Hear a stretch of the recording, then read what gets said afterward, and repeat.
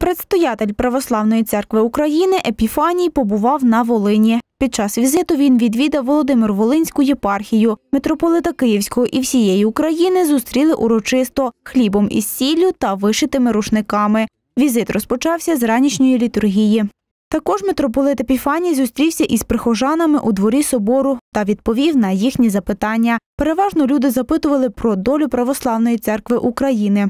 Потрібно ще багато попрацювати для того, щоб церква за церквою визнала цю автокефалію. І я вірю, що в цьому році і Алацька церква, і Кіпська церква, і інші церкви долучаться до того акту, який звершив Вселенський патріарх, бо його всесвятість патріарх Вар- Варфоломій прийняв таке рішуче історичне рішення, надав Томос про автокефалію.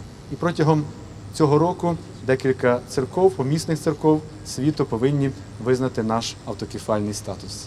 Також митрополит зазначив, що шляху від Православної церкви України назад немає. Ми об'єдналися, створили основу і в майбутньому будемо розбудовувати вже єдину помісну православну церкву. Вороття немає, вороття до старих, структур не буде, тому що ми маємо вже єдину помісну українську православну церкву. Митрополит очолив хресну ходу від кафедрального собору до дошки пам'яті загиблим воїнам. Там вшанували їхню пам'ять. Також у рамках візиту блаженніший Епіфаній побував у 14-й окремій механізованій бригаді, освятив і звершив оновлення каплиці на честь рівноапостольного князя Володимира.